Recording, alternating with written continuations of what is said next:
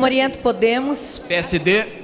PSB, PSD, senhora presidente. PSD. Destaca que hoje a lei já obriga a, o exame da mamografia, não é?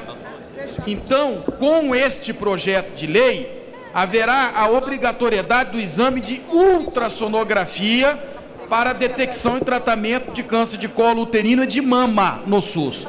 Portanto, é um avanço em defesa da saúde da mulher e por isso o PSD não tem como ser contra. É um projeto que beneficia de forma efetiva a saúde das mulheres no Brasil.